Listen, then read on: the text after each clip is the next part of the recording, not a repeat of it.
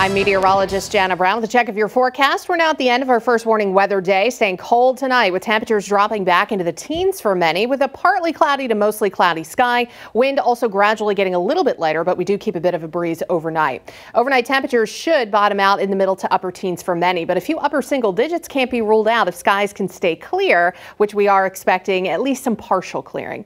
Now, plenty of sunshine is on tap after a few morning clouds for your Friday. High temperatures only rising to around 30 degrees and many will stay in the 20s, so definitely another cold day on tap. So not a ton of melting out there, but anything that's slushy, anything that's wet is definitely going to be refreezing overnight and for the next several nights. High pressure builds in as we head into the start of the weekend. That's going to keep us dry and chilly. Sunday, a disturbance approaching could bring some late day snow showers, but not much for any kind of accumulation. And then we're a little unsettled for early next week. It's looking breezy Tuesday with a chance for a few rain and snow showers. And we turn milder through Christmas Eve day with a couple of rain showers before a cool down for Christmas.